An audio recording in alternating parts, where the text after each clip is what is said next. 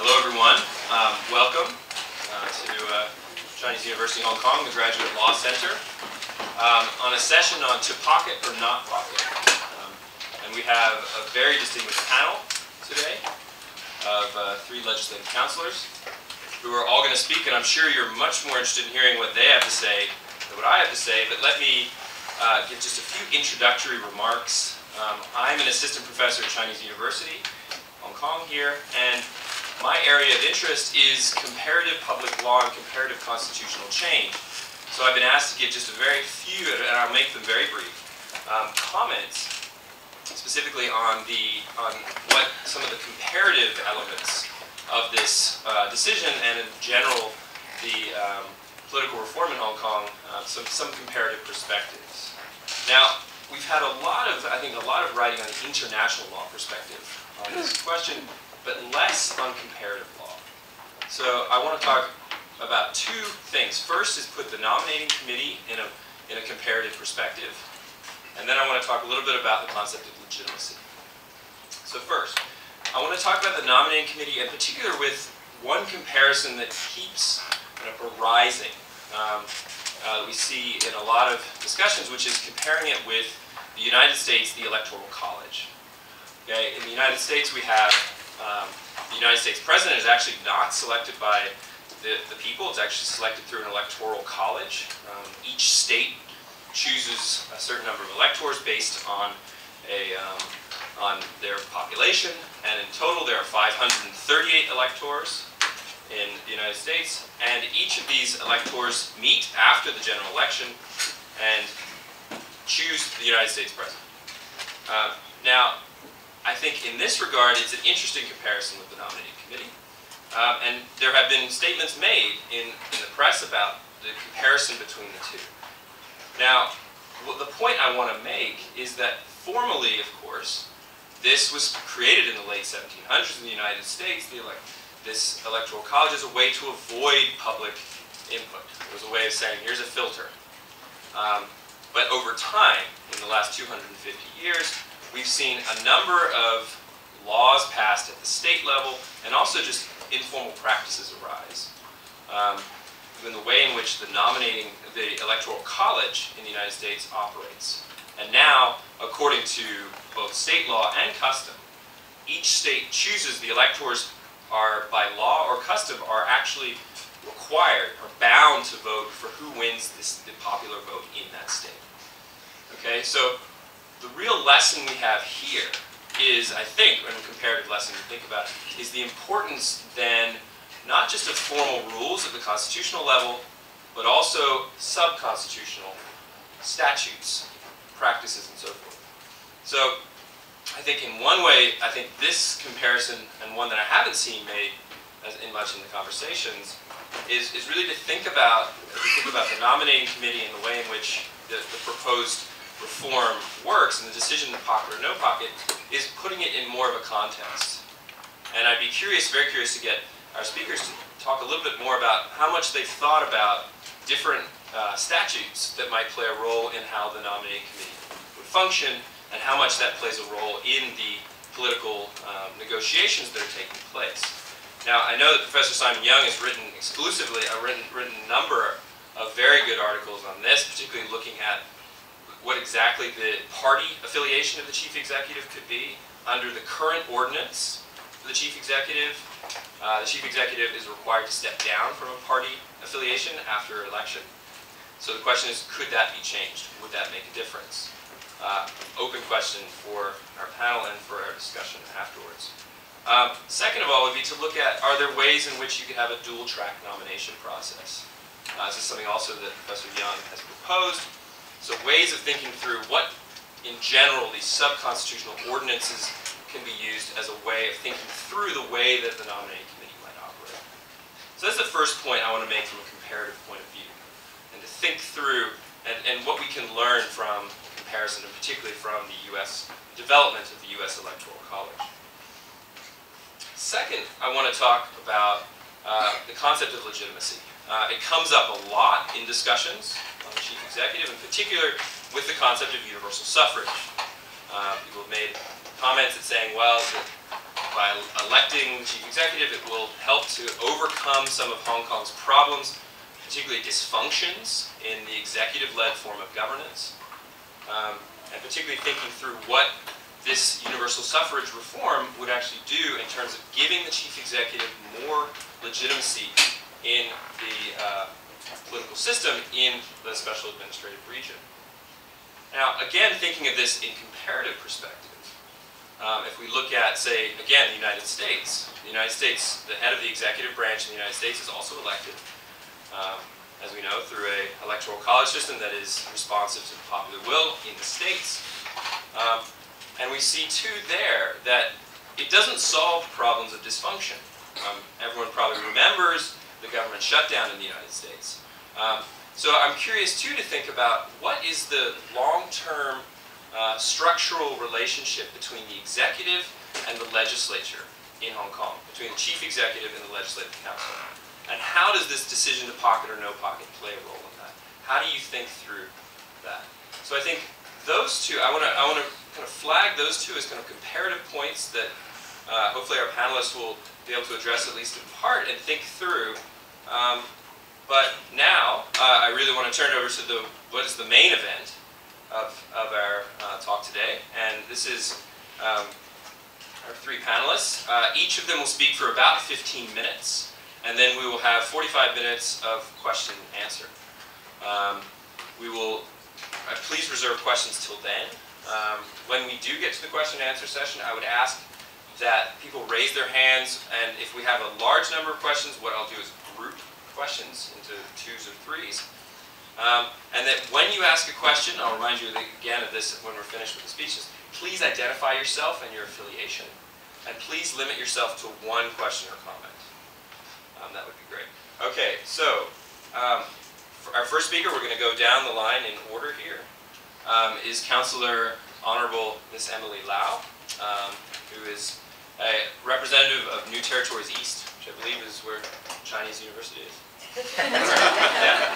So, uh, representative of, of, our university, um, and she'll speak for 15 minutes. Thank you very much. I'll, I'll speak from here. Is this okay? Yeah. Is this, is this on? Yeah. So, uh, thank you very much, uh, Professor Partlett, and a very good afternoon to you all, ladies and gentlemen. Um, thank you very much, uh, especially to CK uh, for organizing this event. Uh, which will give us an opportunity to uh, face-to-face uh, tell you what we think at this very critical juncture in constitutional development in Hong Kong. And, um, and as you all probably know, uh, this coming Sunday, there will be a visit uh, by uh, members of the Legislative Council to Shenzhen to meet Beijing officials and uh, this is not the first time uh, that such a meeting is being held. But of course, in the past years, uh, such meetings were indeed very rare. And this is very regrettable because what is needed is for Beijing to understand the wishes and aspirations of the Hong Kong people, to try to uh, communicate with the political parties, uh, to try to uh, foster confidence and mutual respect. And I think those qualities are exceedingly uh, very much lacking. so uh, what can one expect out of this meeting? I think if you ask yourself, and if you ask many Hong Kong people, they will say, don't expect anything or expect very little that will come of it. Uh, we are in the final phase of the current saga. And they probably, the administration will probably come to LegCo on the 17th or the 24th of next month uh, to trigger the debate and then the vote on this resolution about uh, the election of the chief executive in 2017 and also the election of LegCo in 2016. I think that uh, I speak for many Hong Kong people, including many of you in this room, that we have been waiting for universal suffrage for many decades. And it is very sad to see that now, coming to the crunch point, that, um, as you all know, the package being presented to LegCo will almost certainly be voted down, maybe by a very decisive margin, because according to the basic law, it requires two-thirds of LegCo support before it can be passed. We have 70 members, so we're talking about at least 47 votes in support. And I don't think there will be 47 votes. Uh, there will be many votes uh, vote, uh, opposing it. The reason, uh, of course, different members have different reasons for voting it down. Speaking for my party, the Democratic Party, which actually supported the last constitutional development proposal in 2010, which was not on universal suffrage, but it was to give the whole process a way forward. And my colleague, Mr. Wu Chi-wai, proposed one person, two votes, giving this uh, new, five new uh, functional constituencies, giving the vote to all Hong Kong people. But uh, the um, candidates and the people who can nominate were restricted to district councillors. And having succeeded in that and moved forward, Beijing said, okay, you've satisfied Article 45 of the Basic Law about gradual and orderly progress. Hence, in 2017, you can elect the chief executive by universal suffrage. And after that, you can elect all members of LegCo by universal suffrage. This is an undertaking from Beijing, something that they have not given before. So what we're saying to them now is, come on, honor, honor your promise. And they say, yes, we have done so. The National People's Congress Standing Committee made the decision on the 31st of August last year, saying, yes, one person, one vote. Not one man, one vote, but one person, one vote. And but the nomination will be confined to the nominating committee, and that committee's composition will be based on the election committee, which chose C.Y. Leung in 2012, 1,200 people, four categories. And the people who have a right to elect members of that committee is only a quarter of a million. So all that will not change. And to be validly nominated, you need to have more than half of the committee supporting you. That means even if you have 600, it's not enough. You need at least 601 votes to be nominated. And then the candidates have to love China, love Hong Kong. And there cannot be more than, at most, three candidates. Just then our the chair of the meeting talked about the, the US system, I don't think such restrictions can be found in the US system. I said, if, if you refer to the US system, well, I'll have that any time. We'll divide Hong Kong into 18 districts, and they will elect the electors, and they form a committee, which will be a darn sight better than the 1,200 people committee that, that we have right now. I, owe my party always says, we agree the election of the chief executive should comply with the basic law. So, like the Bar Association, we have no problem with that. Last year, we proposed this three-track model. Civil nomination, political parties nomination, and nominating committee. And I never said that they have the three have to go together. I said either one will do. Well, if, if the nominating committee is willing to accept proposal by the public or proposal by political parties, they can also nominate those candidates. But if you can confine yourself to the nominating committee of Article 45, then the franchise, the base of electors to choose people who can be on the committee must be widened. You cannot just narrow it to a quarter of a million people. when we right now have more than three and a half million people registered as voters, and those who are qualified to register is over five million. So how can you confine the, the, the electoral base to such a narrow, narrow part of the population? And most are business people, professional people, and the political elites. And the vast majority of the Hong Kong people are excluded. So that's one thing. The other, of course, the nominating threshold cannot be that high. Even in the small circle election that Alan Leong and Albert Ho took part, the nominating threshold was 12.8%, one-eighth. How come this time round it's 51%? It's crazy. And of course, there should not be a limit on the number of candidates, two or at most three. So those restrictions, those limitations are totally unacceptable. And they cannot be found in the basic law. It's just that the National People's Congress Standing Committee made the decision and say, this is it.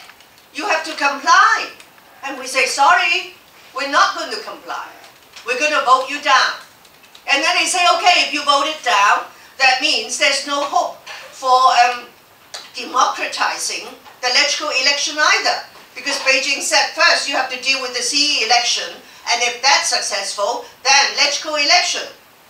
But then if you ask my colleague, including Jeffrey, sitting here, and many in LegCo, they have already said they will not give up the functional constituencies. But I said that's what Beijing said. Beijing said after that we give up the, we will uh, get rid of the functional constituency. But what they are saying is you introduce universal suffrage for the functional constituency. Wow, what does that mean? That means, like Jeffrey, he's chosen by the Chamber of Commerce. So under universal suffrage, the Chamber of Commerce will nominate Jeffrey 1, Jeffrey 2, and Jeffrey 3. And then one person, one vote. And we have Mr. Leung Seng from the banking sector. So in future, the banks will nominate Leung Seng, David Li, or whoever. Then you, you can have one person, one vote. I mean, that is ridiculous. But that is not just coming from my electrical colleagues. It's even coming from the lips of Beijing officials. So, what kind of universal suffrage are we talking about? Hong Kong is a party to the ICCPR, which is the International Covenant on Civil and Political Rights. Britain extended that to Hong Kong in 1976. And at the change of sovereignty, Beijing said yes, that treaty can continue to apply to Hong Kong after 97. Beijing actually signed the ICCPR in October of 1998, but the NP still, NPC still has not yet ratified it. But Hong Kong has been to the United Nations Human Rights Committees on many occasions to submit its report on the implementation of the ICCPR. But the Hong Kong government and the Human Rights Committee disagreed on universal suffrage. Hong Kong government said it will only be implemented according to the basic law. But the Human Rights Committee does not dispute the authority of the basic law, but they also say that it should be in compliance with the ICCPR. And my position, it is possible to comply with the basic law and to comply with the ICCPR. So ladies and gentlemen, we are at this very, very critical juncture. And the president of LegCo said about two years ago, if a political reform package is not passed, Hong Kong could become ungovernable. And there are other people in the pro-government sector who have also issued dire warnings. The convener of the Executive Council, of which my colleague Jeffrey is also a member, Mr. W.K. Lam, said we took part in the RTHK Backchat program on the 1st of May. He said he was very blunt, very frank. He said only pro-establishment people could become candidates. People from the pro-democracy camp, he said, you can become kingmakers. I said, WK, I have never fought for democracy all my life to say that we just become a kingmaker. Come on. That's not democracy. But I guess the fight for democracy will go on. It will go on. And for many of you who are very young, when we are gone, you will carry on the fight. Because you know very well that you and your families and friends all would like to have a democratic Hong Kong, underpinned by the rule of law, respect for social justice. So this struggle will not end. And I must say, my party insists the struggle will be peaceful, orderly, and non-violent. Because I think that's the way forward. I do not support violence. But Hong Kong people, maybe they know what they want to do, and they will have to take responsibility for their actions. And I hope all of you in this room and at the Chinese University will understand why some of us will vote against the package and will work with the rest of Hong Kong to fight for democracy.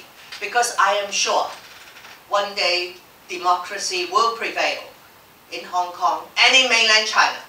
And I hope all of us will live long enough to see that. Thank you very much.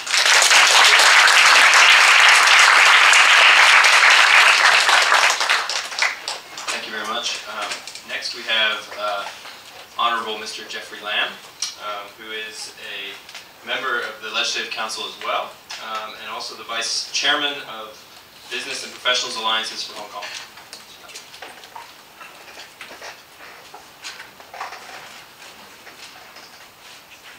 Well, first of all, thank you for inviting me. Thank you, Chinese University, for inviting me here today. I did not vote for CY. I mean, it- it's a fact, but, you know, uh, the election is a game. You know, you have to choose side. But once the game is over, it's over. I, I believe in supporting our government the central government as, as well as the Hong Kong, let's say our government. Um, if uh, after the election we continue to confront, uh, it's not good for Hong Kong. Um, some people think um, I or the uh, pro-government camp always fight with the uh, Pan Dam, the Democrats, I- I'm actually a very good friend with Ronny, Emily. We- We talk, we eat, we play together. we just don't fight. We just don't fight. we, we, we, we act very sensibly. Um, but, you know, we, we, we are, uh, you know, Hong Kong now stands at a juncture of its history when the people of Hong Kong can vote for their leader. Uh, let, let's talk a little, uh, uh, for a little while. Let, let's talk, not talk about whether this is a genuine um, package or not, because some people believe it is, and some people don't believe. And actually, who brought democracy to Hong Kong is not the Americans, not the Brits. It's the central government. Before the handover, we did not have democracy uh, what came along in the past 17 years, it was the central government who gave Hong Kong the right, you know, first of all, uh, to progress on democracy.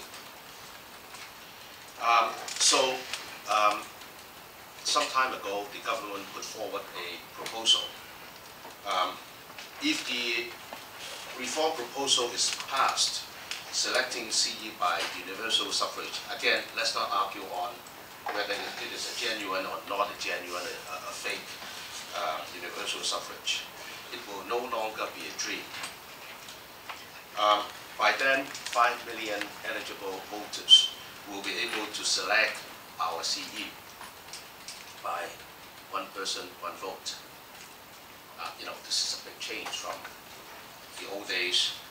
Uh, governors were nominated and sent over by plane or by boat to Hong Kong. But if the reform proposal fails, there will be endless political wrangling.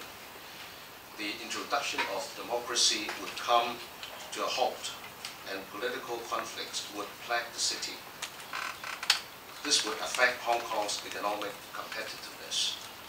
uh, while harming relations with Beijing.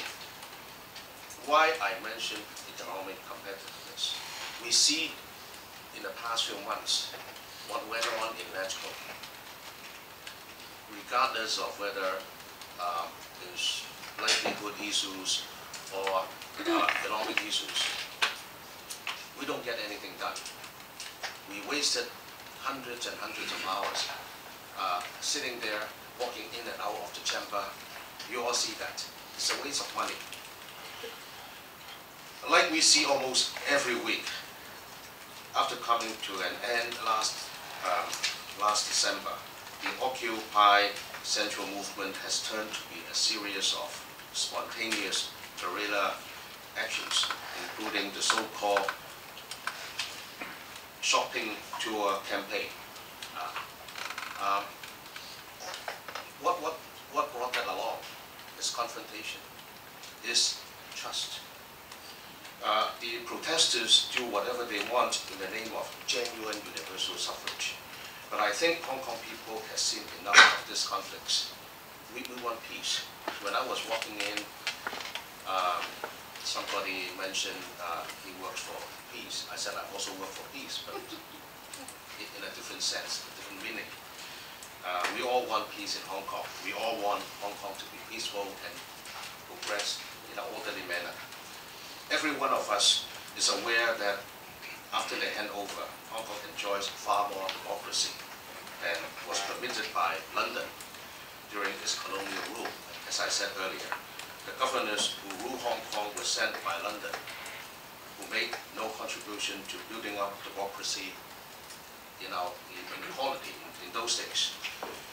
A crescent selecting of the CE through the 1,200 members of the election committee.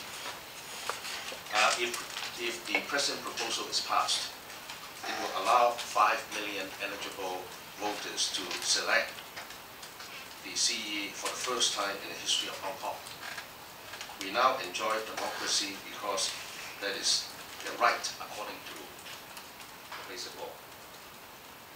And also, don't forget, we, we, we don't just talk about basic law, we have to talk about, we have to concern about the, uh, the law in China. So it's Beijing that has made one man or one person, one vote possible in the city. Uh, and we are seeing this only 17 years after the handover. However, some said the government proposal is not genuine universal suffrage, citing international standards. You know, talking about international standards, one country, two systems has no international standard. We are the only one. Every country only allows one country, one system. But we must understand the uh, realistic perspective. Hong Kong's constitution development must proceed according to its own situation. Earlier, Professor mentioned about the US system. We are not the United States. We are not United Kingdom. So all those systems, we can take it as a reference. But we have to choose our own way. But what is the best way? Now Hong Kong is actually quite split. Uh, we have many, many different proposals. We, we are not getting a consensus. But we have a proposal that is put on the table for us to choose.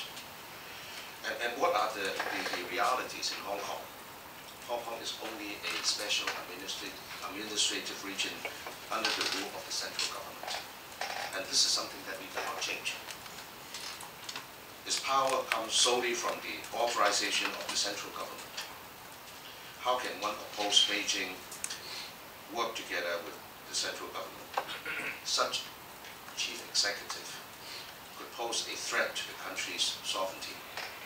That's why NPC Standing Committee set the S, the, set the CE Universal uh, uh, Suffrage Framework. So the proposal with the nomination committee, I think is suitable for Hong Kong. Moreover, take a look at every electoral system around the world. The US has its own system, as professor had just mentioned. But look at Britain and Germany, they also have a different system. The newly elected uh, British Prime Minister, David Cameron, is only elected by about 300 votes, which are all their party members. Of course, you can say that they are elected by uh, people in different districts. Uh, But when compared to Hong Kong, which offer a chance for 5 million registered voter to choose, is it more democratic or not? We can say it is or it is not.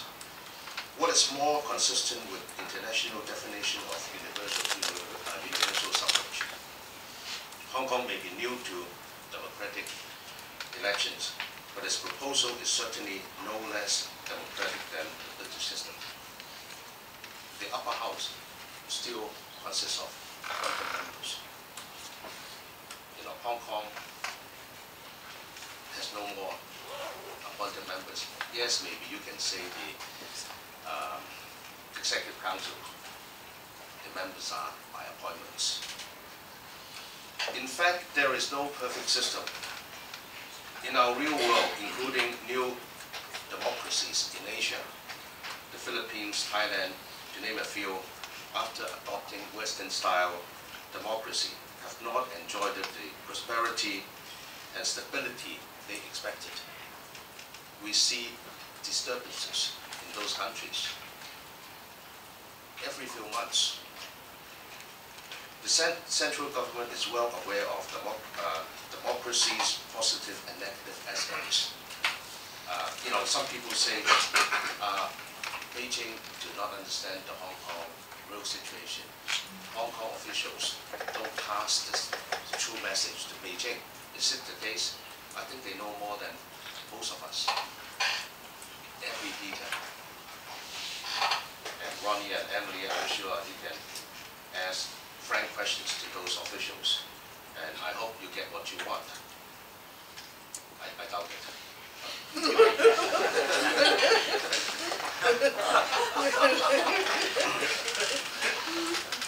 Um, You know, this is why basic law lays out some criteria, for example, to look into the actual situation and to proceed in a gradual and orderly manner, uh, while fulfilling Hong Kong people's aspiration for universal suffrage. Orderly and gradual manner, you know, we don't want Hong Kong to, to be out of control. We want it to be progressing in an orderly manner because Hong Kong is not just political. We are a financial center. We cannot let uh, our action, whether it's right or wrong, whatever is action, disrupt Hong Kong. Because without people investing in Hong Kong, uh, creating jobs, uh, our reserve will go down very, very fast. So we, we need those. Besides, it really depends on whether your view, you view the proposal as a glass of a glass half empty or a glass half full. Some see the proposal as not democratic since a nomination committee of 1,200 people who have power over, who finally has a chance to campaign. But so are some of the other countries. Uh, Talking about the United States, people really don't get to nominate. The party will a member. Uh, On the contrary, some see it as democratic. Once candidate has to get a minimum of 120 nominations from the committee, they will then be able to campaign and garner as many of the 5 million votes as they require to get into the office. What is most important is political reform is an evolving process. We have to start somewhere. We, we have started a few years ago. I, I really admire the Democratic Party for what they did a few years ago. Uh, they did move uh, democracy in Hong Kong a step forward. But we need to go another step forward. But now we are having some differences. But in differences, we don't have. But problems are made for us to solve. Let's see how we can resolve it this time. I, I think despite being called imperfect by the Pan Democrats, I think we should start with the government's proposal. Now, aside from the business community, more citizens have expressed their hope for realizing universal suffrage in 2017. As shown by opinion polls over the past few months, and some were actually done by your university, more people supported the government proposal than opposing it. Pan Democrats always accuse the C.Y. Administration of not listening to public opinion. Am I part of it, being a member of the executive council? But I, I do listen. Uh, it, it is not really the case. Maybe the, the, the decisions by the government or by CY sometimes are not to your favor. Uh, but they, they are. But, but are they listening to public opinion? It is for you to answer. It is clear that if this deal is not accepted, if it is not passed, then the status quo resides. Things will stay as, as is, as they are. This is probably the time for everyone to take a deep breath. Because in the name of genuine universal suffrage, more filibustering by Pan Democrats legislators will come. More protests may take place. Politics is often about accepting compromise. The deal here is simple enough. Either have a step forward or stick by the idealism and hope Hong Kong will not get stuck. At present, everything we want to do is blocked by Pan Democrats. In LegCo and outside, and nothing get passed. You know, this year, the construction work passed by Legislative Council is history low. Well, thank God we don't have enough workers here, otherwise we'll have another problem. But we are not talking about uh, importation of labor in Hong Kong today. and under an unstable political system, many economic and livelihood issues cannot be solved. So I suggest let's start with the first step. It does offer the chance for 5 million voters in Hong Kong to choose between different candidates. Uh, under the present proposal, uh, at least two, uh, likely to be two to three, can come out and let you choose.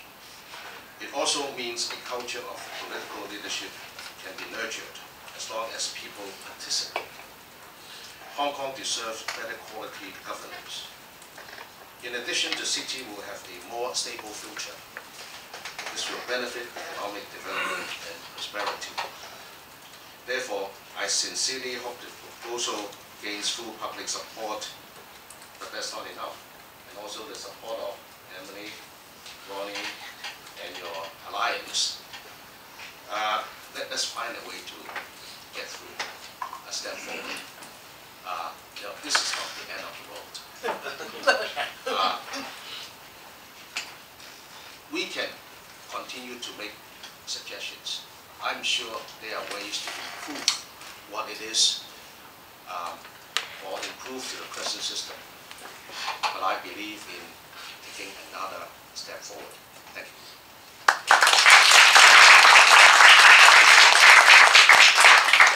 Thank you, Mr. Lam. Uh, Finally, we have um, Councillor Ronny Tong, who is, uh, also comes from New Territories East constituency. Um, And we will, uh, yeah, floor is yours. Oh, thank you, Professor. I, I hope it's not by design that, uh, that I should speak last because uh, I find myself in an ambiguous position having heard two speeches from my eminent brothers and sister. having heard the passionate speech of Emily and a rather with feet on the ground speech from Jeffrey. Um, I'm not sure I have anything to say, but, but un- unfortunately, I've taken a sandwich provided by uh, the professor and the organizers, and, and I can't possibly get away with a free lunch, can I? So, so I would venture. No, I think one is enough. Uh, so I have to venture to put forward my, my two cents. The question today is, uh, sorry, it's not on here. is to pocket or not to pocket. Um, Emily said it's not even English. but, but let's, uh, let's uh, not be technical about it.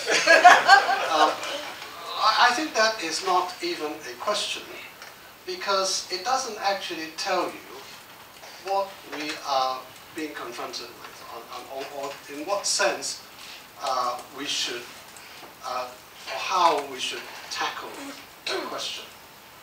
So what I want to do first of all is just to uh, do my usual thing, which is a lot of people say that I'm very, very, uh, uh, you know, negative. Uh, and uh, I, I don't say too many things which are encouraging to people. I, I'm always criticizing others. Emily is the first to say that. I always criticize her. Um, but uh, I, I want to you know, put everybody in the right perspective. So I want to say what are the things which are not decisive. I heard what the professor said uh, as opening remarks, which uh, is very enlightening. But uh, I'm sorry, Professor, what is not decisive is law. Well, that's not actually correct. I, I need to rephrase it. But, you know, you, you get my feeling. Uh, you, should, you should start with law, because any package needs to comply with the Constitution, period. But then thereafter, there is a whole wilderness of area for you to cover, which has absolutely nothing to do with law. And law will come in again at the very end if we reach a consensus. There is a package which everybody accepts, then you need to go to the law to implement it. So law is not decisive, by no means. Law is numbers. Uh, opinion polls doesn't help. Uh, this morning I, I heard, I, read another uh, poll conducted by the eminent university here. Uh, 45 against 42 point something percent. I asked myself, what is the point of all this? Political reform is not decided by numbers. If we were, it's very simple. I wouldn't be here. You wouldn't be here. These polls, what they do is rather to help and resolve the question, they help to make the gap wider. It helps people with opposing views to be able to say with a stronger voice, I have opinion behind me. The Pandemocrats went down to the district, tried to win support with a, lot of help from the government officials, I have to say, because they are really disastrous uh, in going down to the district. Um, and that helped the numbers going up. But I asked a rhetorical question, to what end?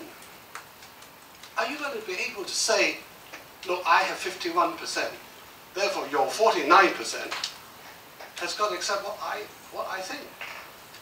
How do you think the 49% will say? And turn it the other way around. Can the 47, sorry, 42% say to the 45%, you're going to listen to me, I have, I have justification, I have a just cause behind my back. No, you're not going to convince people with numbers. And then people say, well, you're a legislator, you're elected by the people of Hong Kong, why can't you listen to the opinion of people? I'm sorry. That's a complete misunderstanding of our political structure. You might have read the works of uh, you know, Edmund Burke. He, he, I think he puts the, the nature and the substance of the representative government in a very good uh, nutshell. We, that is, we at, uh, representative of the people, are elected not to represent only those voters who put votes in your favor. You are represented because the system would have to allow voters to choose by different districts, different strata, different people. But you are representative of the entire territory. I was elected in New Territories East, but I never regard myself as merely, in quotes, a representative of New Territories East. I represent the whole of Hong Kong.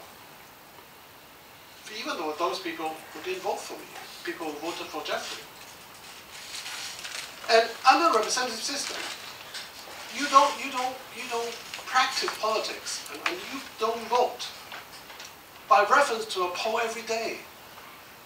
People elect, elected you because they trust your political acumen.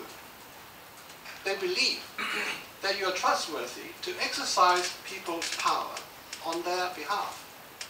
And then you have to exercise your own judgment as to where you stand on a particular issue. Of course, you have to pay heed to what is going on in the community, but it's not decisive. And if you disagree with what I might disagree with my judgment, the test is when it comes to the election next time, you will not vote for me. And when I stand up here, I would pledge my utmost to that system. And if I don't get, get elected next time, if I were to run again, that is, that is, that is the whole point of the system. So numbers of polls, they don't count. They can't resolve differences, particularly when we have such a wide gulf here between the pocket side and the not pocket side. The third thing which is not decisive is whether it's a good package. It's got, I can tell you, I mean, you may, it may sound very cynical. It's got absolutely nothing underlined in bold letters. Nothing to do whether it's a good package. A good package is a package that both sides can agree to. If it's a package that they can't agree on, it's not even a package, it's just a, a suggestion on the table. They will not realize into what is to happen to our political structure in the future. So don't start saying what is a good package. Now, of course, all generalizations are false. And I'm not trying to, I, you know, if I generalize too much, you would say that what Ronny Tong, you, you're just uh, talking rubbish. When I say uh, a good package is a package that both sides can agree, I don't mean that each side will have to follow all their principles. But you have to try to find a, a, a point of balance between what the other side would accept and what your side can accept. If simply insisted, insisting by the perfect model or the most democratic model, is certainly not a good model because it won't be accepted by the other side. So, so long as you can achieve what you set out to achieve without compromising your basic principles, you have to learn to compromise. Somebody said, politics is the art of, of, of compromise. Well, actually, there is a, a more apt saying, which is that politics is about engaging each other to resolve differences. So, you would ask, well, after five minutes, ten minutes, sorry, my time will be up in a minute, so don't worry. So, Ronny, you said you said all these negative things. What what are we looking at? Well, I would say that we we have to start to understand whether we, by we, we say both Beijing, because we are part of China, and Hong Kong people, do we know each other? Do we understand each other? Do we know what the other side thinks? Beijing suddenly does not understand Hong Kong people. When I went up to Beijing, I think three weeks ago, I was asked by one of the officials who said, oh, Ronny, he didn't call me Ronny because uh, we didn't use English name, we didn't talk English. He used Putonghua, he said, Uh, you must read this article. And he, he showed me an article, which is uh, a, a quarterly magazine written by our eminent Lau Siu-kai, you all know the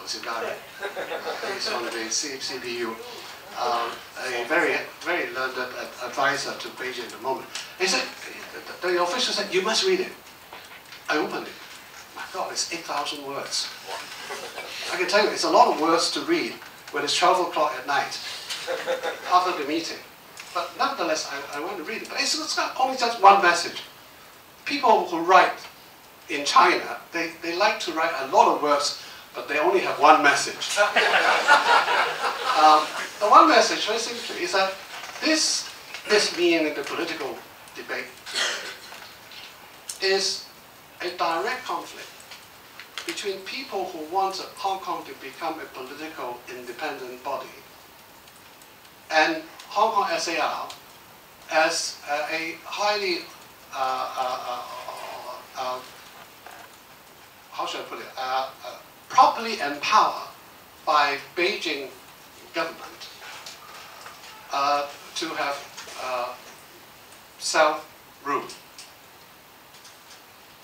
And I said, my God, 8,000 words. It's got nothing to do with Hong Kong. I mean, I don't believe, I've never met anybody.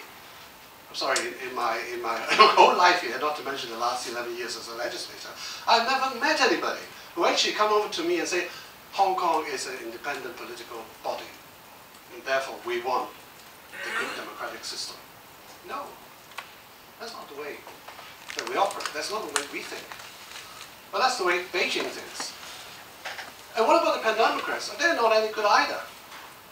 And Democrats, they, they are still stuck, even today, we're now living in 2015, they're still stuck with a street fighting pressure group mentality that we all grew up with in the 80s. But we're now in 2015. And, and one thing nobody seems to think about or care about is this, that China in 1984, when it agreed the Sino-British Declaration, is a completely different animal from the China today. I dare say that if China and Britain were to negotiate a handover today, I can bet you my lunch that there will be no one country, two systems. China regard itself as a superpower today. It can take on United States, plus England together, plus EU together. They're not going to give you one country, two systems. They gave you one country, two systems in 1984, and they're regretting it. But um, the, the other thing about Beijing is that they care about face. They have made a promise, they have to stick with it. The same with the basic law. And so when I went up to see Beijing officials, I, I asked one question. I said, is democracy in Hong Kong in conflict with the one country, two systems? He has to say no. Then I asked myself, I didn't say it to the Beijing officials, of course. I asked myself, why do we make it a conflict? Why do we have to pitch democracy in Hong Kong as a, a, a, conflicting concept with the one country, two systems? You know what Beijing people think? They think one country, two systems is a compromise. It was a compromise I made in 1984. You, Hong Kong person, that's me, you have taken the two systems and you want to get rid of the one country. Is that fair? You're having the cake and eat it. Then I ask myself, why, why was it that we have given that impression to Beijing? It's because we never talk. There, there's actually a song about people not talking. You, you might remember that. Husband and wife, that is, of course. not talking with each other, and, and you end up in a divorce. And, and we are on the brink of divorce. I'm telling you, I'm very worried. I'm not worried about the political reform not getting passed. I'm worried about the political reform dragging down the one country, two systems. And that's why I'm, I'm planning to set up a think tank, because I want to save the one country, two systems, not political reform. Because I believe that if one day we can truly understand and appreciate one country, two systems, and we can truly understand and appreciate each other, that will be the day that we have genuine democracy in Hong Kong. Not before. Because Beijing wouldn't have it. And we can't have it without Beijing's consent. Because this is, the, this is the situation that we find ourselves in. This is not the age of revolution. In Qing dynasty, yes, you can, you can, you can, you can, you can have uprising. Not today. This is an age of nuclear bombs and internet. You just, you just can't. I mean, you have to try to engage each other and understand and get the maximum what you can get. Now, I believe, I still believe that it is possible for Hong Kong people to get genuine democracy when Beijing is persuaded that it is not a threat to them. And this is what we have set out to do, to demonstrate that we are not a threat to Beijing. What we have done, I'm sorry to say, so far, is exactly the opposite. Exactly the opposite. Now, it is out of good intentions, out of good cause, I agree. But the effect, the net effect, is the opposite. I always say that when you try to persuade your opponent, you don't tell them they're wrong. You have to make them realize that they're wrong. So telling them in the face, pointing to his nose and say, you are wrong, would have exactly the opposite effect. Try that with your mother. you, you see what I mean, right? So, to pocket or not to pocket, I have to say, if you ask me this question, have you taken a sandwich? I have to give an answer. I would say, don't pocket it. Not simply because it's not what we wanted. It's because I genuinely believe that we are not, we don't have the right conditions to pocket a political system which would determine the future for all, pe all people of Hong Kong, for all generations to come. We're not there yet. I keep saying to the Beijing officials, I said, it's good to have dialogue, but please don't have a dialogue because of political reform. You need to have a dialogue before political reform. We're doing the other way around. Sorry, I, I haven't really given you a, a, a good answer to the question, but I hope I've given you food for thought to think about things in a slightly different angle and try to reach inside yourself and ask yourself this question. Are we ready for political reform in three weeks' time? Thank you.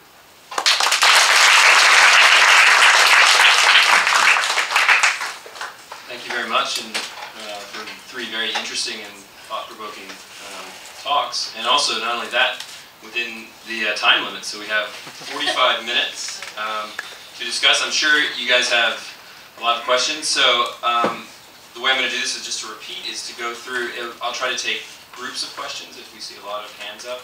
Also, please identify yourself and affiliation.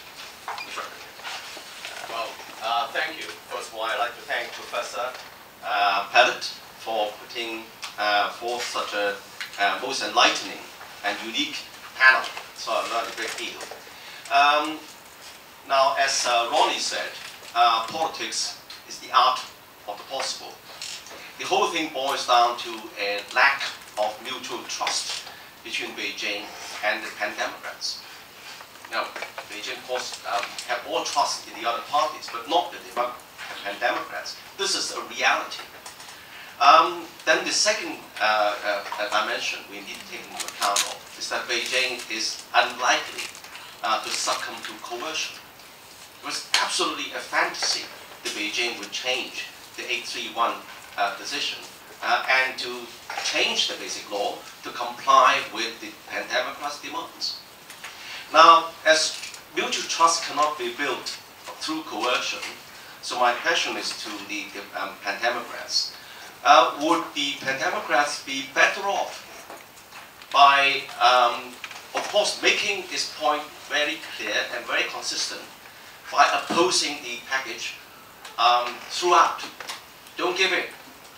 But see the package be passed by a small, small, small margin. Now this would send a clear signal to Beijing that this current package is not ideal. There's plenty of room for improvement, but by doing so, Hong Kong would have the first chance, the first step, to cast the votes. Five million would cast their votes on the next chief executive. Uh, I would round up my question uh, uh, immediately. Now, this doesn't mean that the pan-democrats would forever be, be, forever be excluded because of this lack of trust from the leadership uh, in Hong Kong. Because the, the possibility still exists, and there's plenty of room there uh, for Beijing to co-opt um, suitable members of the Democrat Party with people with democratic background into the um, the governing team, as it were. For example, we already have very able ministers with democratic background. Um, I don't think that Beijing would necessarily quibble if one of these uh, people, you know, could run for chief executive. So trust must be built um, as a working relationship, and trust cannot be forced by coercion. So my question is that would Pan Democrats uh, consider that under the, these realities, uh, the democratic movement would be better served uh, to see the package pass with a small, small margin so that, so that 5 million voters can cast a vote and then open up further room for the democratic movement in Hong Kong. Thank you. Yeah, let's take a couple more questions. Who else has questions? Yeah, in the back. And remember, please identify yourself and your, your company. Uh, good afternoon. Um, I'm Terence Tseng, uh, CUHK uh, Juris Doctor student. Uh, thank you for, for the speakers for the um, uh, enlighten, uh, enlightening speech. Um, I, my concern is not about whether to pass the package or not. Uh, perhaps this question is from Mr. Lam. Uh, I think in the current proposal, there is a very illogical part for me. Uh, in the nomination process, you need to have a, um, uh, more than half of the uh, half of the members support you to be a candidate. But in the uh, actual election part, they do not have to have more than half of the votes of the electors. Uh, I think it's, it's illogical because um, you have a high threshold for nomination, but you have a low threshold for, for election. So it, for me, it, it, it is just putting the election power also on nomination committee. Um, I'm raising this because even my mother thinks this is illogical, and I, I think my mother is those silent majority. So I think the Pan Democrats will not be um, satisfied if this is um, changed. But I think um, will the uh, pro-government camp try your best uh, adding this into the proposal so to rally um, more um, Hong Kong residents to support the package. So perhaps as um, your colleague said, will um, provide the courage for the Pan Democrats to change and support the package. Thank you. Thanks. Let's take one more question. Yeah. Uh, Manohar Chugru, I'm the chairman of Nisha Electronics, a businessman. In a business, uh, sometimes we have to cut the losses. We don't cut the losses. Loss, losses could be multiple factor. We say bad is better than worst. It's easy to decide between a bad and good, but when it comes bad and worst, it becomes difficult for many people. I agree with Emily, this is not a universal suffrage, union rural suffrage, but also at the same time, I agree with Jeffrey Lam that this is a one step forward. So we have to see what is bad and what is the worst. We always compare when you're in business the advantage and disadvantage of option A and advantage and disadvantage of option 2. So looking at that, I think so it's good to accept the proposal because there's a bad proposal but better than worst if we don't accept. And also we talk more about the problems we every day hear the go, Hong Kong is getting ungovernable. We also hear every day the society is very polarized.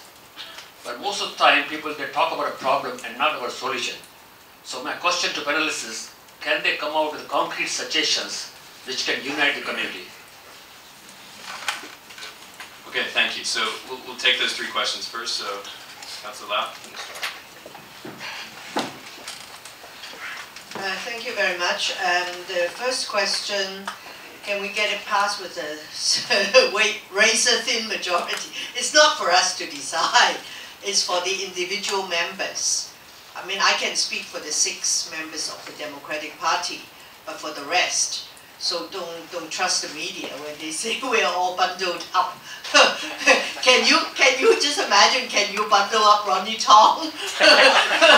no way. So it's for the members to decide, and we have never discussed a scenario where, okay, we will let the package be passed with two votes uh, your margin. And some people actually said if it is passed by such a thin margin, uh, the atmosphere would be so tense that uh, there could be big commotion or even unrest. Because some people say that on the day of the voting and prior to that, uh, they're calling on many Hong Kong people together outside LegCo and the CGO. And, uh, and if the atmosphere becomes so tense, then uh, people fear there could be a very big, big problem. So anyway, but, but to answer your question is, we've never discussed it like that. And uh, I respect uh, the decision of my colleagues in the pro-democracy camp. And I have never heard anyone proposing uh, that to say, hey, or hey, Ronny, or Charles, or Kenneth, why don't you give them the votes so that it can be passed by a majority of one or something? And then, but we can still argue it's very bad because it's not perfect. So sorry, I don't think that's something that, uh, that we have discussed or that uh, many people seriously propose to us. Uh, but I, I know where you're coming from. And the other thing is, um, well, the last question, huh? we have weighed the pros and cons of, you know, uh, the current package. And uh, I think uh, the professor here talked about legitimacy. And we fear that if we allow the package to be passed, and then we have uh, three, four, five million people voting, then of course the administration will claim that whoever is elected is very legitimate because it got so many votes. Uh, but everybody will know that the electoral system is deeply flawed. So why should we help to bring about this system whereby they can claim, A, and Beijing will say, yeah, we've satisfied Article 45 of the Basic Law. That's it. That's what Carrie Lam said when she came, came to LegCo to unveil the, the, the latest proposals. So uh, even if they don't move forward to do, make any more amendments, don't be surprised because they say we've done it. This is it. And also, the other thing, and it goes on to the LegCo election. And then they will say, now we've done, we've achieved the C election, now let's go, and then people like Jeffrey and his allies will come out and say, oh, let's democratize the functional constituency. Each one will be one person, one vote. So when you actually go to the polls, you probably have about uh, 35 votes because each functional constituency, you can cast a vote. I mean, it will just turn Hong Kong into a big farce. I, I just, I cannot imagine that. But I think if, if Jeffrey is willing, you can tell the audience that you will not support democratizing or getting rid of the functional constituencies. So, uh, so uh, it's not pointing the right way forward. If we support this, they will say, hey, now you have one person, one vote for that. You can also have one person, one vote for the functional constituencies. So it will just make matters even more complicated. So I much rather that we have nothing, so what? Then we start with a clean slate. We talk all again. And I agree with Ronny, we've got to engage. I speak as someone who cannot go to mainland China for more than two decades.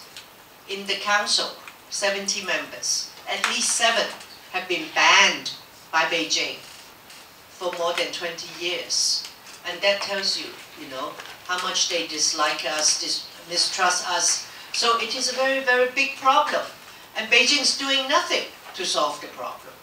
And I don't know whether people like Jeffrey is doing anything to help, but for 20 odd years, you know, there is this huge divide.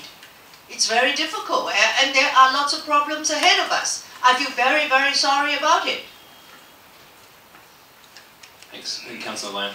Well, maybe not just the mainland, maybe Malaysia. I, I think one very important aspect, one very important point behind democracy is respect. You know, um, we, we are sitting here very peacefully.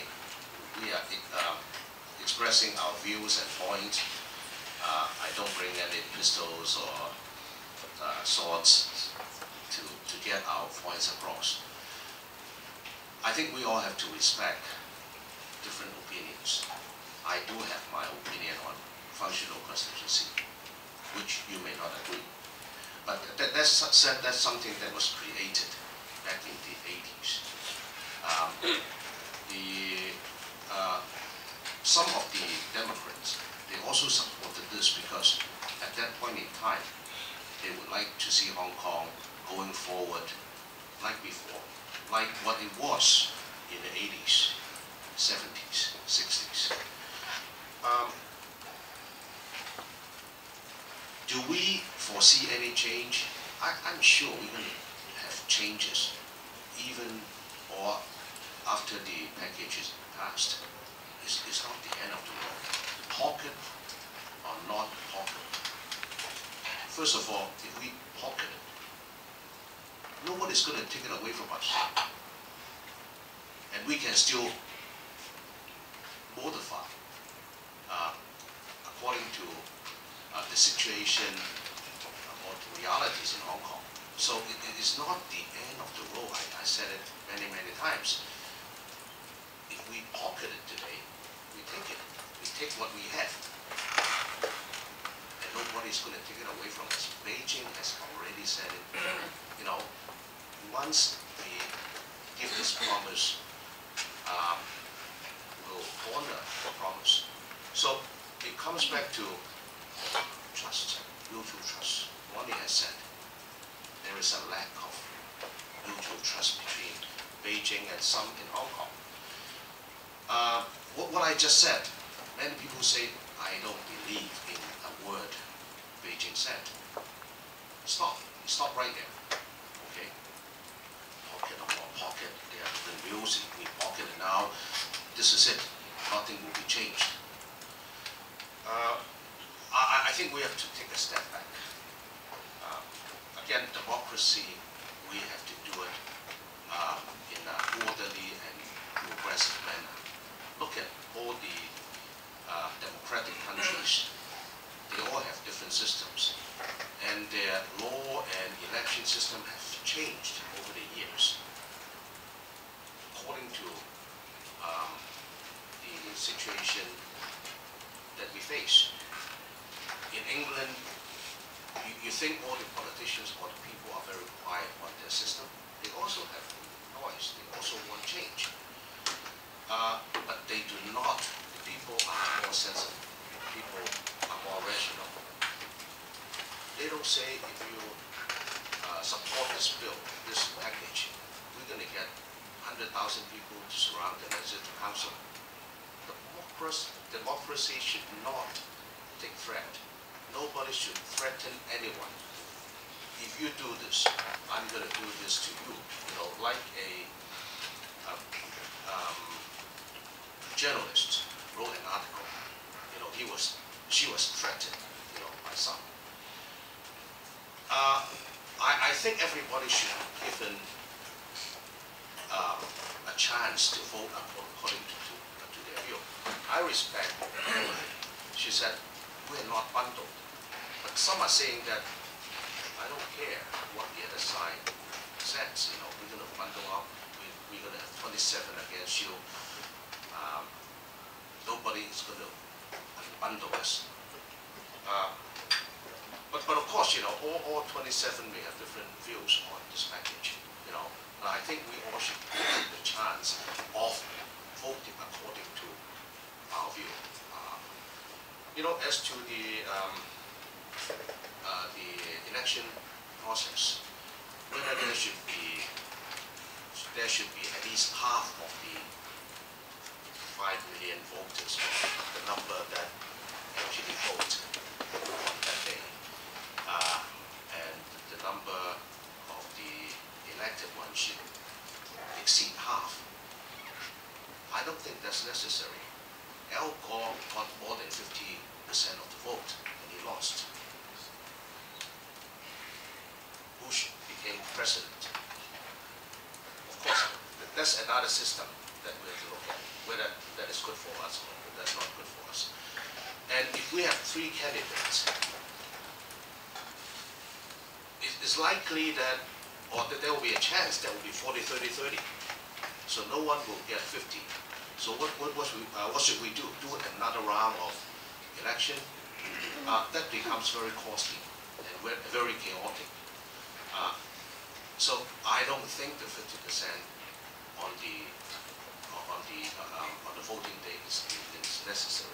So, um, the decision by the, um, NPC Standing Committee is, um, we, we, should respect that, you know, and they will not change.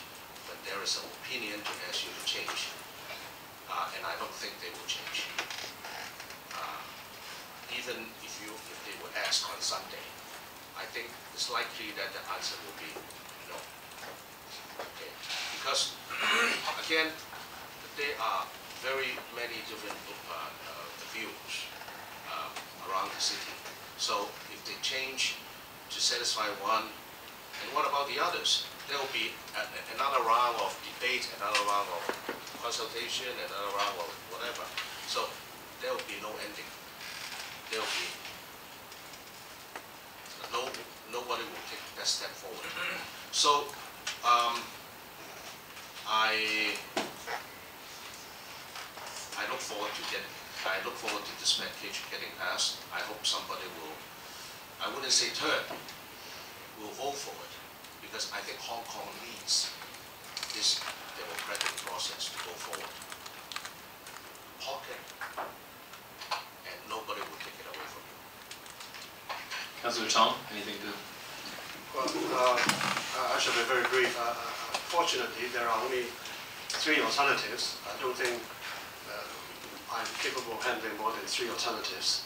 Uh, The three alternatives are to pass, not to pass, and pass with a thin majority. If you ask me to rank the three, I think to pass it with a thin majority would be most harmful to Hong Kong. The next would be to veto it. And the least harmful to Hong Kong would be to pass it with a, with a relatively large majority. Reason very simple. I, I mentioned about political reform is not a question about numbers. But if you look at the numbers, you see that while there are something like 45% of people who wanted to see the package pass, they simply wanted it to pass. But the other 42%, particular, about 30% of the 42%, they are really angry about it. They say that, if you look at all the polls, they say that no matter what you give me, I don't want it. Now, if you look around, if you have a situation like this, that's what revolutions are made of, or uprisings are made of. You don't need 10, 20% of people. All you need is enough people, 50,000, 100,000 people, going onto the street and causing trouble. And it is just not just about trouble in the streets. It is also about how a legislative council can function. If you, you think today's bad, it will be 10 times worse if it's passed by a thin majority. All the three major political parties will be so angry, and Emily here would be so angry, but she probably would be the, the least active in courts uh, of the legislative councillors, who would express their anger in ways that you, you, you, can, you can imagine. And if you ask me, is, is it worth the price for Hong Kong to pay to get such, to get this package through? I would say no. If this package had answered 10% of my aspiration, or the aspiration of people of Hong Kong, I may, I may consider it, but it doesn't. It is it's completely not something that we want. And to risk it with near-term, uh, possibly uh, catastrophic uh, uh, chaos in Hong Kong is simply not worth it. So I, I, I was the one, in fact, I was the first one in Hong Kong to say that, to say to the government, that is the SAR government, don't ever talk about getting it passed with four votes.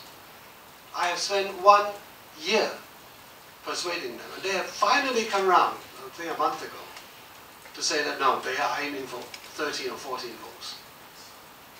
So passing, passing it with a, with a small margin is definitely no go. I, I, I can see the frustration. I can see the frustration of the man in the street. Sorry, correct that.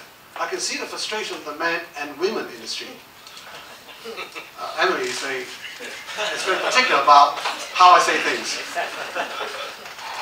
But, I mean, we, we also have shared the same frustration, even more.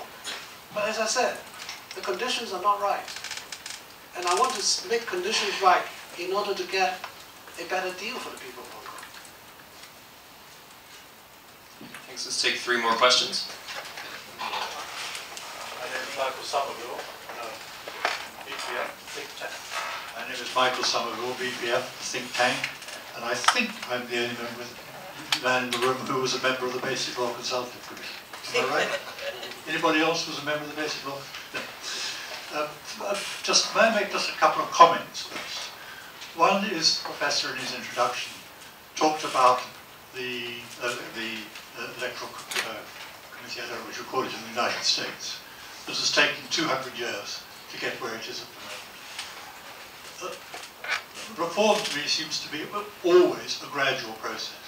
Electoral reform always seems to be a gradual process. In the UK at the moment, we've been arguing about reforming the House of Lords for as long as I can remember.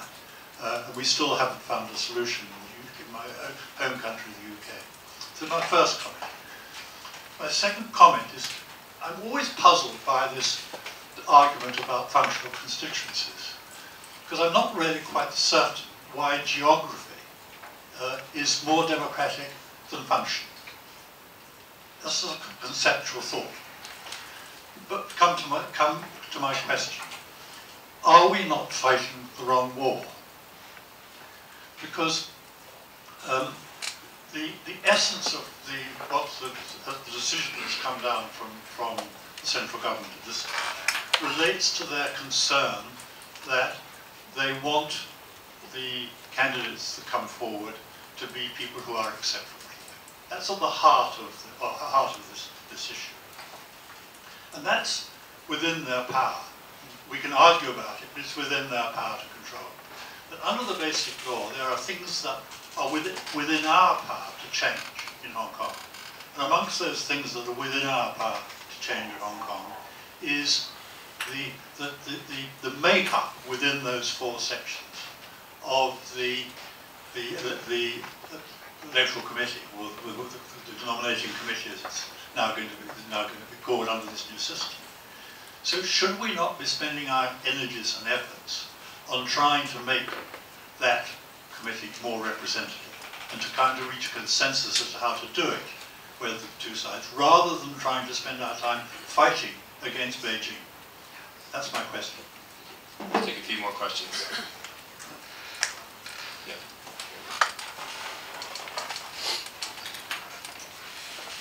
I'm Professor Lee. Um, I had a few words to Emily before, and uh, Jeffrey and I have been uh, friends for getting over to 30 years, although we seldom talk and meet. and uh, I never met the guy before. And uh, as far as the, the um, topic to pocket or not to pocket, I have no conflict of interest. Nonetheless, I think this is a non-issue because we are talking about step two instead of step four. The problem with step one is not resolved as yet. It's too difficult to resolve. That's why we skip it and get over to step two. In some way, my feeling echoes the previous speaker. I think we should try to resolve the, the, the composition or the criteria for people to get in to be a candidate. So instead of wasting time now to talk about to pocket or not to pocket, why don't you get over step one before you go to step two? And that's my feeling, and that's my comment, and I invite comments from the panelists. Thank you. This side, anyone, this side of the room, questions? Okay, Okay, in the back there.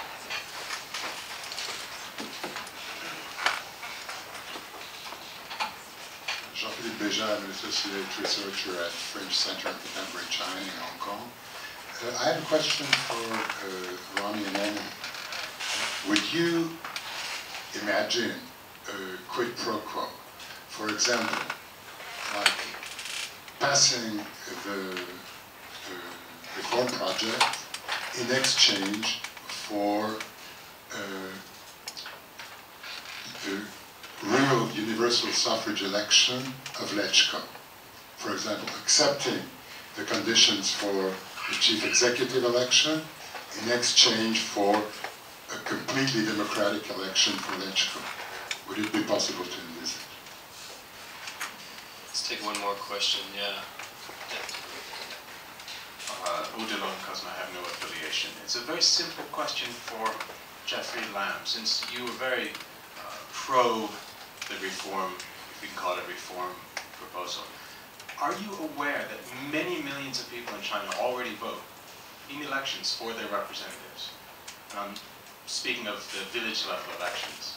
And can you tell us in what substantive way the proposal for the Hong Kong election of the CE differs from the so-called democracy that already exists at the village level in China? Thank you. We'll start again in the same order. Thank you very much. Um, the- I think the first two questions are similar, uh, to talk about uh, reforming the, uh, or democratizing the nominating committee. Uh, This is something that, as I said at the beginning, I- we proposed uh, about a model which is based on Article 45 of the Basic Law, the nominating committee, saying that, but the, uh, the franchise of the electorate should be widened. So we did mention that. And the, uh, the excuse that the administration's giving is that, oh, last year, everybody talked about civil, civil nomination. And uh, I said, yes, some did. But we, I myself, my party insisted that civil nomination is not the only thing that's acceptable. If it's, if it is accepted, of course, no problem, because we have that in district council election, we have that in LegCo election. So if, if you have that in uh, CE election, it's fine. But even if you confine the electoral process to the nominating committee, we can discuss it. And as I said earlier, widen the franchise, lower the threshold, and you cannot limit the number of candidates. But if you just concentrate on widening the franchise for the nominating committee and not address the question of the threshold, the 51%, and the two to three uh, limit the maximum number of candidates, I think you cannot come up with a proposal that would give the people genuine choice. So I, I hope you understand that. And, uh, and, uh, and unfortunately, uh, in the last 18 months or whatever, uh, there has not been that much attention, focus on uh, democratizing the nominating committee. And um, some people, particularly the students, and they keep pressing on civil nomination, which is something totally understandable.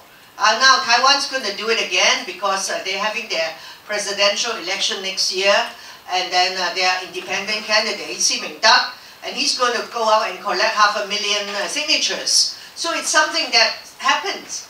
So people want it, and the press zero in on it. But that does not mean that there are other things on the table. But that was not addressed. But anyway, I don't think Beijing will allow it.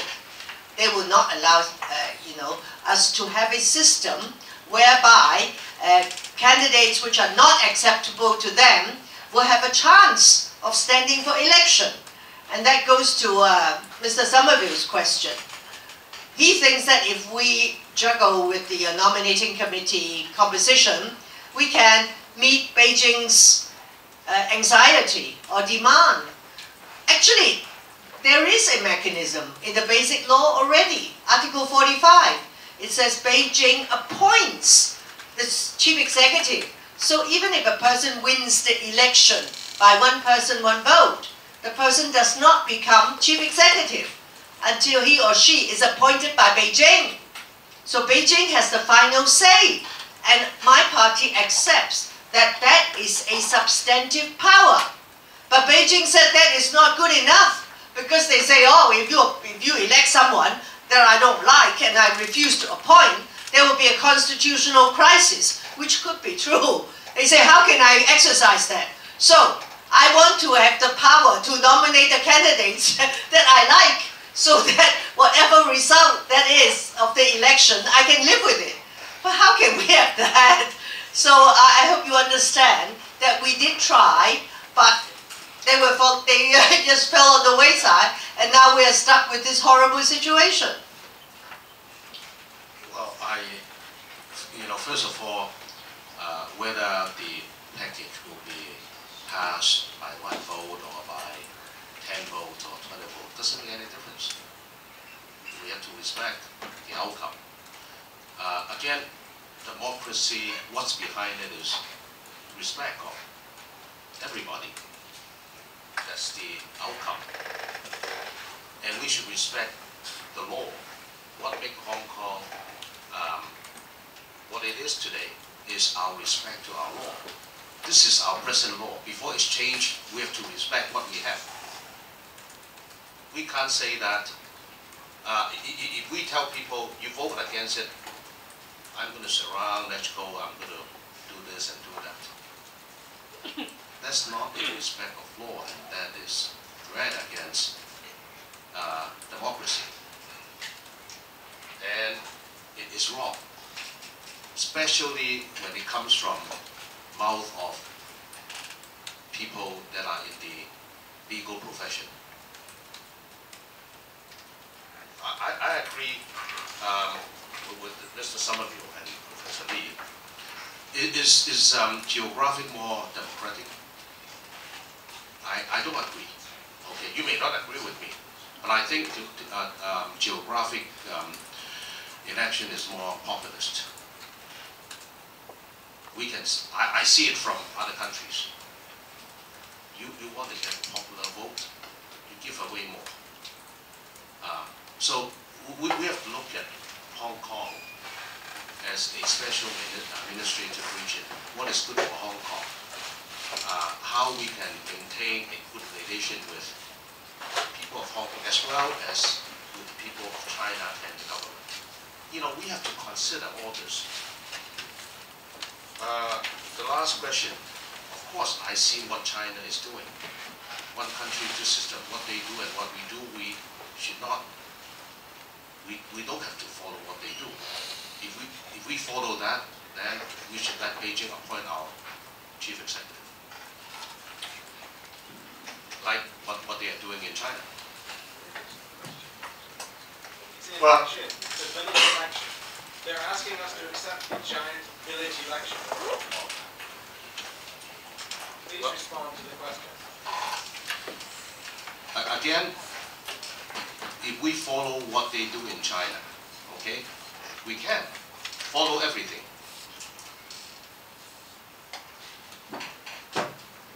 Well, um, can I start by saying that I, I, I didn't realize I have so many fans in the audience today. I'm sorry, I didn't quite catch the names of the, of the speakers, so can I just refer to, to, to you by, by reference of the order of the question that, which were uh, made? Uh, in answer to the first question, um, nothing wrong with functional constituencies. I totally agree. What is wrong is that in Hong Kong, the functional constituencies are being monopolized by limited companies and by a very limited number of voting members of various organizations. Uh, and in the labor uh, union sector, they were being monopolized by union leaders. Uh, if the functional constituencies were to be elected by general franchise of the people in those uh, constituencies, then I totally agree. There's no, there's no reason why we should differentiate. Uh, the second part of your question, uh, I, I didn't realize you were a fan of mine because you know I raised this two years ago. I was the only one, I think I'm still the only one, who spent time working on the existing functional constituencies in the election committee, one by one, sitting down, looking at the numbers, working out which can be uh, uh, uh, democratized And I heard Emily said there was no discussion. This is, this is the sad thing about it. There were a lot of open discussions at the time when I raised the, the, the proposal, but the Democrats wouldn't have it, wouldn't support it. Even my, even my party doesn't support it. So when I speak to Beijing officials, and they say, hold on, hold on, hold on, wait a minute, don't go any further. How many votes have you got? I said, well, one. He said, no, you don't even have one because your vote belongs to the Civic Party and the Civic Party doesn't support it. So let's move on. Let's look at things which the Democrats want. That's very sad, very sad. Even up to now, you know, if you take out my proposal, even now, it's still workable. But still, the Democrats wouldn't have it. Now, uh, the last question, again, I mean, I didn't realize you're a fan of mine. because I said exactly that nine months ago. I said exactly just that. I said, look, I realize that Beijing says that election of chief executive is about sovereign power and national security. And I said, look, I'm just a poor nobody. I'm just a barrister. I can't deal with national sovereignty or national security. So if you say, if you say that's what it's all about, I say, okay, I'll forget about it, but let's have universal suffrage for LegCo. Because we have, we have two aims, all them, uh, and Democrats have two aims. One is universal suffrage for the chief executive, and the other is universal suffrage for LegCo. Well, let's have that as a condition for accepting the package. And you know what? The answer is the same. He said, wait a minute, Ronny, sorry, not Ronny. Wait a minute, Tong Ka-wah, how many votes have you got? One? No, the Pan-Democrats wouldn't have it. The Pan-Democrats wouldn't have it even today. They said, no, there's no way we will take the 31st of August package, even if you promise to abolish functional constituencies. So we are completely and utterly and hopelessly stuck. It is not for want of ideas. I wouldn't say good ideas, I just say want of ideas. It's want of willingness to compromise, to take what you can get and fight for another day. Well, sadly, we're almost out of time, so I think we should probably wrap up here. Um, I just want to thank all of our panelists. Um, three very different views on what's happening in Hong Kong and the uh, upcoming vote. And I hope if many of you have questions, you can come up and speak with them afterwards. But please join me in thanking them for speaking with us